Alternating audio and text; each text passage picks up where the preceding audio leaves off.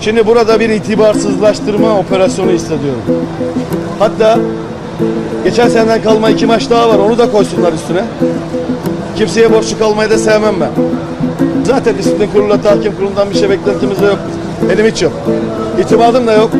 Güvenim de yok. Buradan Rıdvan'a da bir haberim olsun. Bana neyin yakışıp neyi yakışmayacağını ben bilirim. Ben de kendisine bu yaklaşımını yaklaştıramadım. Onun için dikkatli konuşsun. Ben 40 senemi verdim arkadaşlar. Neyin ne olduğunu, nelerin ne hangi durumlar başka yerlerde ben gizli gündemim yok benim. Hangi gizli gündemlerin neler olduğunu bilecek kadar tecrübeliyim. Böyle geçeceksiniz Antalya'da devre arası bazı kararlar alacaksınız. Burada bize örnek göster. Böyle bir şey yok. Bundan sonra da bu işler için uğraşmaya devam edeceğim. Şimdi eskiden daha fazla hırslıyım şu anda. Eskisinden daha fazla.